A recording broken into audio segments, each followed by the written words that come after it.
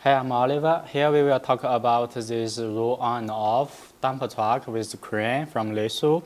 And uh, we will see the basic operation, how to operate, and uh, what is the settings from radio. This is what I setting with my radio. It is a EV one. So also you can buy EV or other radios to control it. You can compare with these settings. So thank you, let's see.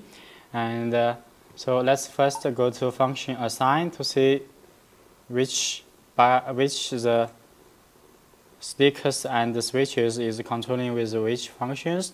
Function assign. So first one is the steering, steering J1. You, you click inside, you can switch, change, click which one you like. So if you're touching this one, it is going to J1. If you move it, you click J2, we'll change it to J2. So I choose J1. This is for steering. Same for other uh, switch choosing. Go back. So steering is J1. Throttle for the driving back and forward. It is J3. This one up and uh, go down. So lamp, SWF, is this one. switch it on. That's for the lamp. Channel 4, gearbox. So SWE. Gearbox SWE, it is this one. You hear the servo is turning. That's for the gearbox. So channel 5 is the sound voice. Channel 5 SWB.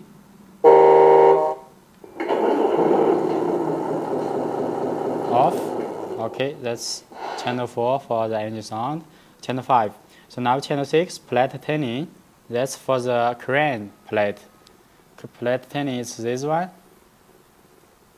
for crane turning. So channel 7 EDS, that's the differential lock. It is this one, SWA. Uh, no, something wrong. Yeah, SWA, it is this one. SWA for channel 7, differential lock. Channel 8 is the sliding for the bucket, go forward and backward. That's this one. Uh, slide VRD, you choose, click VRD. So that's this one for sliding the bucket. I will start operate, you will see. So start the pump. That's for the sliding the bucket. VRD. Okay, so another one, channel 9 is lifting bucket VRE. Lifting up bucket VRE channel 9. Channel 10, front arm. Okay, so let's go to another one. First see another one because front arm we will move it later. So for the big arm for this crane, it is J2. J2 it is this one. J2 for the big arm. Channel 12. Channel 11 it is the front uh, front arm lift. It is VRC. Lift up front arm. Channel 11 front arm lift and down. Yeah. Okay. Let's see channel 10 front arm, front arm reach out and in. Let's go out, that's front arm. That's VRB.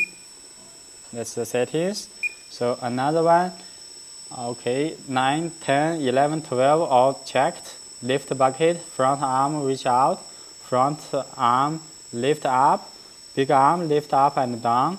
J2, that's for 12 channel. So 13 channel, it is the stand. Okay, so stand out. That's the SWG. Stand out, stand up. So standing, this one go up, and uh, for standing, that's the SWD. SWD, that's 13 channel. So uh, 14 channel SWD. Last one, it is 15 channel Channel 15, hydraulic pump, that's the VRA. That's hydraulic pump. So totally we have 15 channel control this truck and uh, we already see all of these settings and moving. So another one is we go back to see the RX setup for the receiver. So, so the receiver, let's first check. Go to binding setting, you will see so when you set up this one, we have two receiver. So first main receiver connected to the truck, So it is from, I, I set like a 1 to 7 channel. It is for the mass, main receiver. So second receiver, it is this one. Second receiver start from channel 8. So second receiver channel 1, it is actually channel 8. So from channel 8 to channel 15, it is from second receiver channel 1 to uh, how many? So 8 channel. Uh, so channel 1 to channel 8. Yeah. That's 8 to 15 really which channel. Okay, so that's for binding this one. Okay, let's go back to see the reverse. So for the channel, if you see the steering or some moving of the arm or turning, it is not the right direction. You, you click reverse here. Yeah, then you can change the steering, go to the right one to reverse it and check the end points. So before you're driving it, before you're steering, you change gear and uh, you change the differential lock. You have to make these settings, otherwise you may burn your servo. This is very important. Let's say the steering. So if you put 100%, you turn it too much, the, the wheels may be stuck there, maybe burn your servo. So for this one, you check how much you turn in. It's not touching anything for the wheel. You have to check it. So it is around 69 or 60, 65. So if you turn in more, like 80%, 90%, it will get stuck with the wheels. So that's for steering. Another one I need to change is the gearbox. Gearbox, channel 4.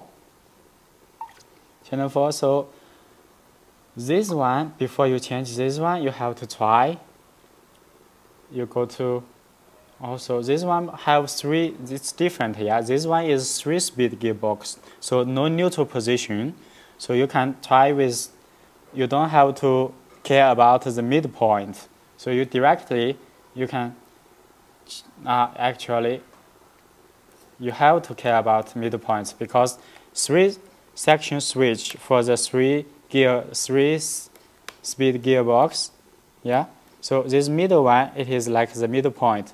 So middle point should be engaged with the middle speed. So let's go back to, to check function assign endpoint subtrim. It is here, subtrim. So for the gearbox, so you have to set the middle point.